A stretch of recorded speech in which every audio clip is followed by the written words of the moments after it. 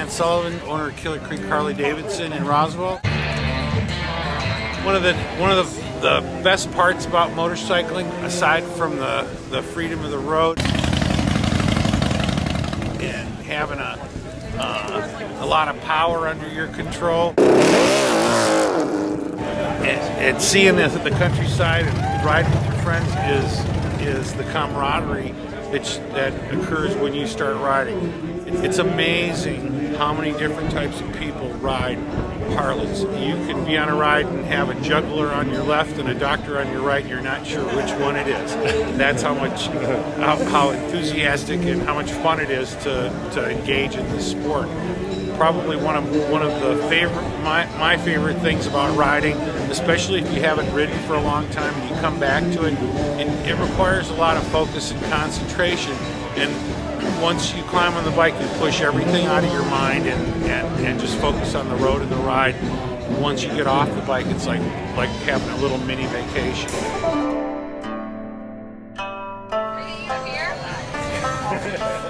that that's probably one of the most relaxing things that that, that I experience when I ride. The other part of it is, is it really changes your life. You meet a lot of really cool people. You have a lot of good times, and, and everybody's there for the for the same reasons. Enjoy the bikes, enjoy the road, and, and enjoy each other. So if you haven't done any riding for a long time, or if you've never ridden, come by, stop in, stop in here, stop in any Harley dealership, ask about learning how to ride, or ask ask how to get back into it. Um, it'll change your life. A written test, and then you're able to ride sun up to sundown, no interstates, solo, um, and and and you can ride um, anything you want, uh, any size motorcycle you want.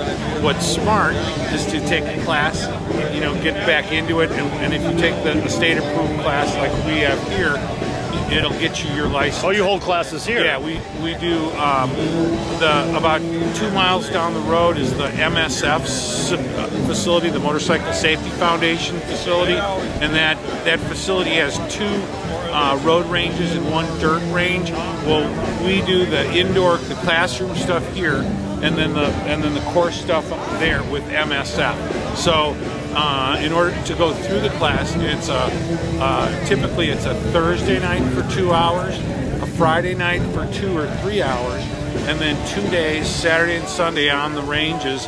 Um, and then and then you take your test and you're good to go. It's state approved. All you got to do is walk into the Department of Driver Services with a certificate, and they'll and they'll upgrade your license to an M class,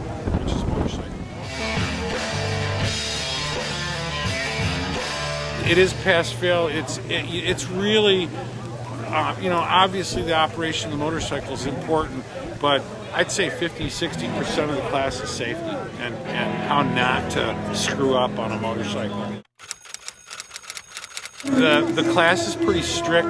If you go into the class and they and they feel like you are not capable after your first morning on the range, they'll tell you that, because it's not safe for the rest of the people in the class, and it takes too much time, they'll ask you to go back and practice a little bit or, or take a private or something like that. The classes usually are 6 to 12 people. 12 is the max that they'll take. Everything starts on uh, small 250s. I was wondering about yeah. how big a bike you would put somebody on for yeah, learning. Because you can't sit next to them and hit the brake or turn right. the steering wheel like in a car. And if you're so. a, if you're a larger stature person, tall or big or whatever, the the, the they'll they'll step you up into a little bit larger bike.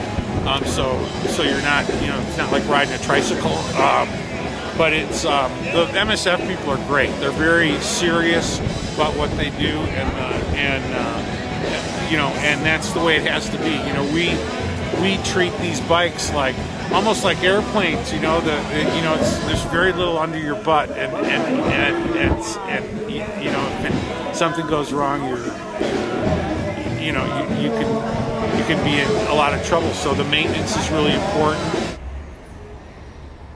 Um, one of the things that happens in the classes too is you, you, they get you to the point where you can look at another motorcycle you can say, oh, I see a little bit of oil stain there, or I see a little bit of a discoloration there, or I see loose tension on that chain, or I, not hmm. just for your bike, but for other people's bikes too. So so everybody's you know looking after each other's back. The course is 300 bucks, worth every penny of it. And that includes uh, whatever. I mean, the, the use of the bike and, Yeah, and includes the bike, the range, the instructor, the certificate. Do they have to buy some kind of insurance or something? No, it's all covered with uh, by MSF, Okay. and and you do have to sign a waiver. You know, so you're, you know, so you're in, the event you, you really screw up, but it, it's a very controlled environment. Everything is very slow speed. Um, the ranges are big. They all have runoffs on them, and, and that, so it's hard to hard to screw up too bad. You know, back in the '70s, when That's AMF, probably when I heard it, yeah, when. AMF owned the company, they weren't very serious about quality control, and they and, and it used to be that if if if a, if a Harley didn't leak oil, there was something wrong with it. If it didn't So- leak oil. And, and back then, back then we used to carry tools around because we'd wrench on our bikes, you know, literally every other time we rode them. But it's not like that anymore. They're really high quality. The the quality control is is dramatically changed since that era, and uh, and the warranties are great. Yeah. Yeah, I, I think so. I, I have some people that work for me here that don't, that are real purists, but it's just not safe to ride in the rain. It's uncomfortable and it's easy to get sick. Uh, but everybody has rain gear, you know. That's and you usually if if you carry your rain gear on your bike in a ba- in a in a saddlebag, it won't rain. But if you leave it at home, it Right. That's right. Yeah, I know about that. Just like yeah, with the camera and everything. Yeah. Yeah. It's uh, it's a combination of both, and and, and it's the way the, the And they got it trademarked, so people can't copy that or something because it's very unique. Yeah. Really? yeah. Oh.